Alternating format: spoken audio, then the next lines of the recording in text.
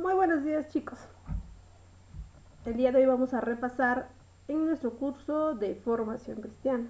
Recuerda que el día de hoy también tenemos nuestra evaluación y para ello vamos a recordar los temas que ya hemos trabajado. Muy bien, vamos a empezar. Y vamos a empezar con quién. A ver, ¿quién se acuerda quién es este personaje? es David. ¿Y quién era David? David vivía en Belén y era el hijo menor de una familia muy grande que había. Cuando David comenzó a crecer, él comenzó a cuidar las ovejas de su padre. ¿sí?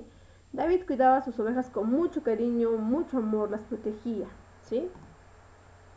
David sabía que Dios cuidaba de él, así como también él cuidaba de sus ovejas, ¿no? quiere decir que así como David cuidaba sus ovejas, Dios también cuidaba a él, ¿sí? Y nos cuida a todos. También vamos a recordar que a David le gustaba tocar su arpa. Dice, cuando paseaba con sus ovejas en especial, él tocaba el Salmos 23. ¿Sí? Ahí tenemos. A pesar que dice que David em, paseaba muy lejano, él no tenía miedo, ¿sí? Porque sabía que Dios cuidaba de él. ¿Sí? Dice que si él sentía algún ruido de un animal salvaje que hacía, se levantaba y lo comenzaba a tocar el arpa o agarraba su sonda y lo lanzaba, haciendo huir rápidamente a este animal salvaje que podía atacarlos. Entonces David tenía mucha fe en Dios. Nosotros también tenemos que tener fe en Dios, que todo lo malo va a pasar. ¿sí? Entonces esta es la historia de David.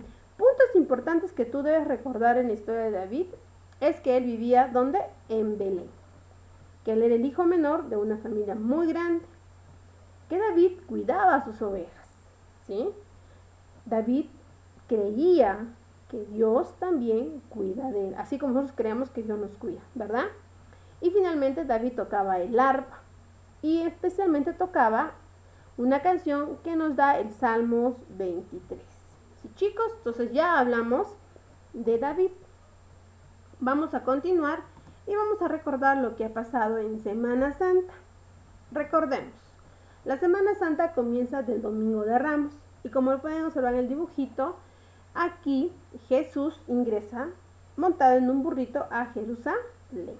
¿sí? Las personas le comienzan a, colocar palmas, mantos. ¿sí? ¿Qué pasa de ahí? vamos a ir hasta el jueves santo. En jueves santo sucede lo que es la última cena. En la última cena, Jesús anuncia que alguien de sus discípulos lo va a traicionar. Y cuando Pedro le comienza a preguntar, yo, Señor, yo, entonces Jesús le dice a Pedro que él lo va a negar tres veces, ¿no? Él ya había anunciado lo que iba a pasar. Y como pues miran ese dibujito, acá vemos a Judas que comienza, se retira porque tiene que hacer lo que el Padre había decidido en la vida de Dios. ¿Qué pasa aquí? Cuando Jesús termina, van a orar pero cuando están orando en el, acá en este, en este valle, ¿qué pasa? Acá viene la gente, ¿no? Viene la gente y ¿qué hace? Simplemente lo arresta a Jesús. A pesar que sus discípulos tratan de ayudarlo, no pueden hacer nada. Y Jesús es, simplemente es arrestado. ¿Qué pasa aquí cuando es arrestado? Jesús es llevado a Poncio Pilatos.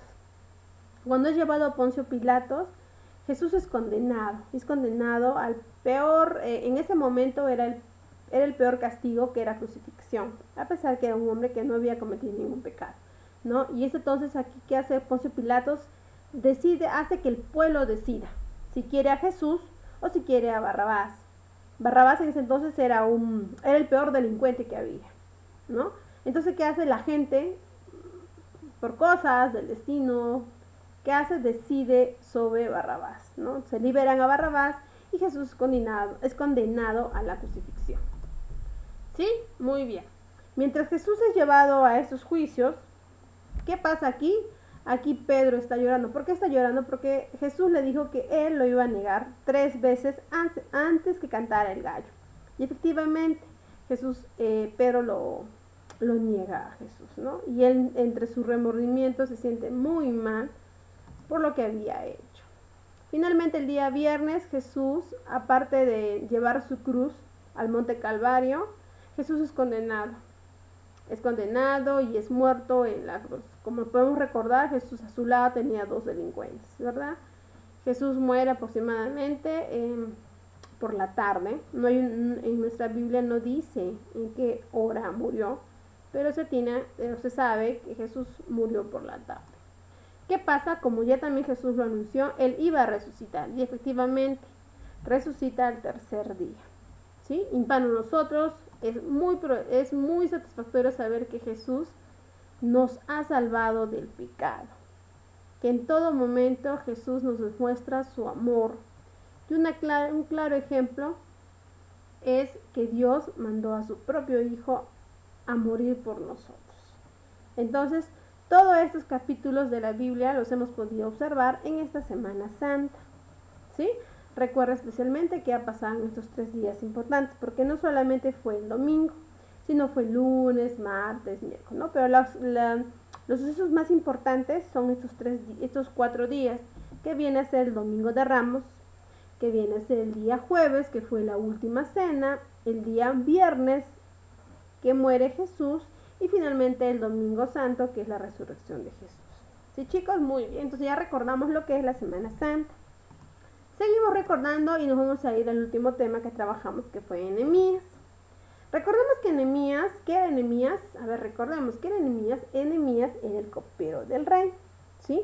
¿Por qué estaba triste enemías? Porque su hermano cuando vino a visitarlo, él se enteró que el muro de Jerusalén lo habían destruido. Entonces él estaba muy triste, ¿no? ¿Y qué pasó en ese entonces? Dice que Enemías oró mucho a Dios para que le pudiera, para que pudiera darle al rey la sabiduría de darle el permiso, ¿no?